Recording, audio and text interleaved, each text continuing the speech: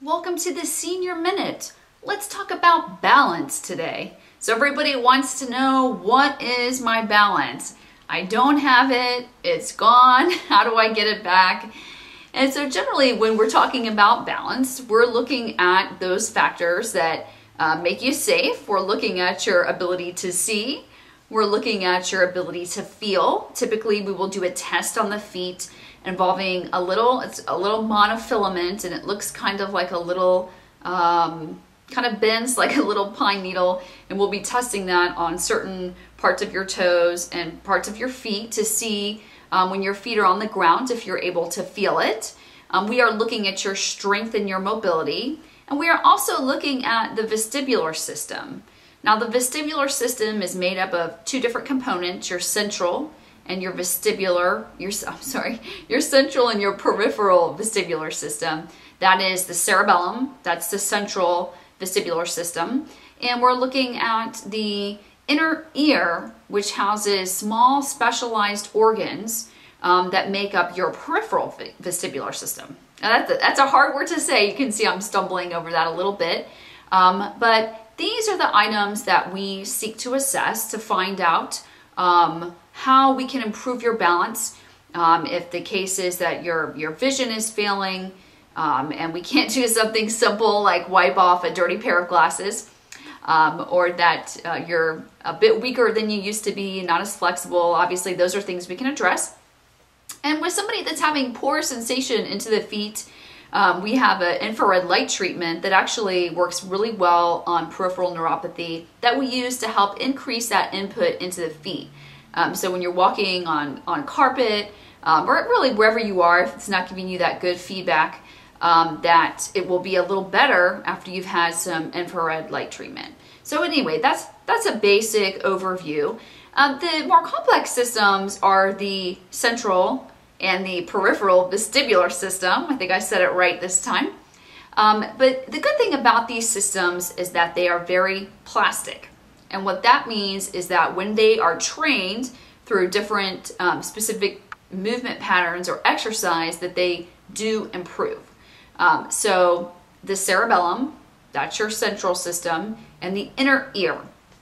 So really when we have malfunctions in the inner ear, um, they can cause all kinds of problems vertigo, um, just all kinds of positional problems where when you bend over or you turn your head right or left too quickly, it sends mixed messages to the brain about where your body is in space.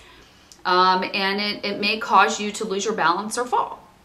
Um, so when we are testing you in therapy, we'll be doing all different kinds of things, having you uh, maybe with your eyes open, with your eyes closed. We might have you stand on something that feels funny.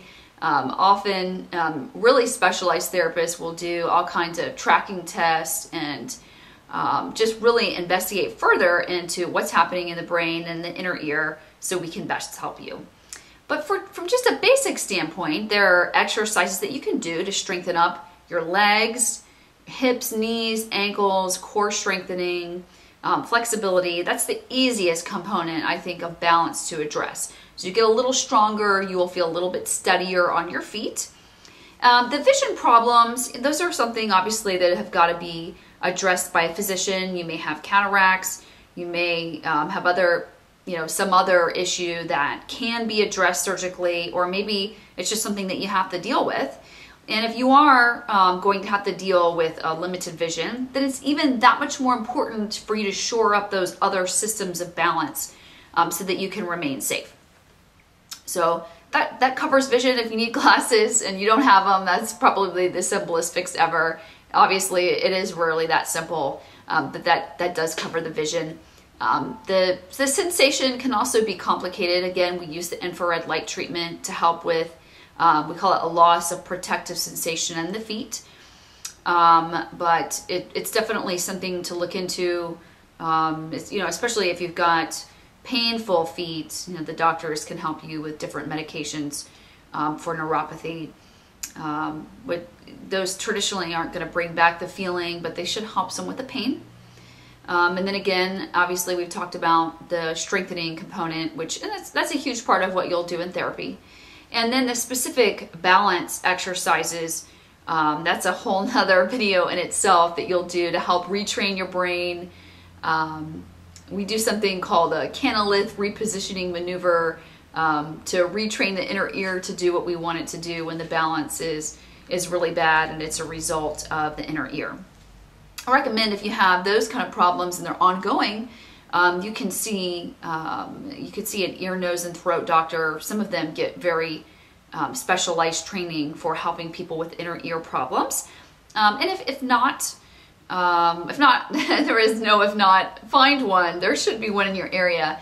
Uh, but you can also see a physical therapist um, for these kind of problems as well. So uh, we will take, um, we, will, we will be taking another video on balance, um, specific exercise. It'll be more of a demonstration later, uh, but this is just a general overview. So if you're concerned with your balance, hopefully uh, this was educational and a little bit helpful.